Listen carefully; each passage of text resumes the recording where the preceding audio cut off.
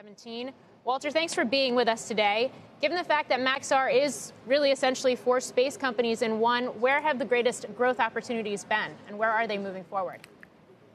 Well, a couple of great, uh, great growth opportunities are in the what we think of as the Earth intelligence space, which is a combination of the satellite imagery and the data analytics that we apply to that satellite imagery uh, the world is uh, a big place, and one of the things that satellite imagery does is it allows you to see what's happening um, at a global scale and doing it very cost effectively.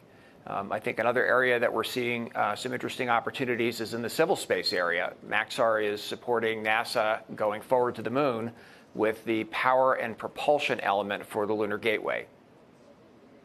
Yeah, Walter, there have been a number of contract awards, uh, including ones from, from NASA in recent months. It's interesting. Maxar uh, last year, about a year ago, stock was trading in the 30s. We saw it sell off pretty aggressively into this year, down as far as $4 a share. The turnaround is afoot. Uh, now I think it's trading around 11 or $12 a share. So it seems to be a turnaround uh, story here. How far into this turnaround? Is the company? And I guess given some of the trials and tribulations of the year, um, how is the company getting its arms around all of that?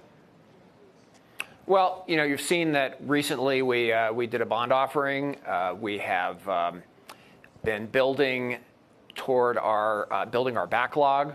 Uh, you've heard us talk about some of the recent awards that we've won, and we're building our Worldview Legion satellite constellation, which is our next generation satellite constellation slated to launch in 2021, which will produce uh, a flip essentially from uh, an era where we are where we are spending capital to an era where we are back to generating significantly more cash from our Earth intelligence business. Uh, Walter, broad question for me. Uh, whether we're talking about the private or, or public uh, area of, uh, of space, is the US way ahead of other countries in terms of its level of innovation and development in the space sector, or other countries, whether China or otherwise, uh, pretty close or even ahead? Well, so one of the things that we saw over the last probably 20 years was a move from where the United States, I wouldn't say had a monopoly on space, but certainly was uh, far and away uh, in many areas ahead in space to where you're seeing now more new entrants. So on the one hand, you're seeing more entrants into space around the world.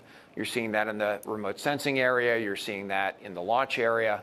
Uh, but at the same time, I'd say that the U.S. still retains a technological edge in space. Uh, it's been investing in space for many, many decades.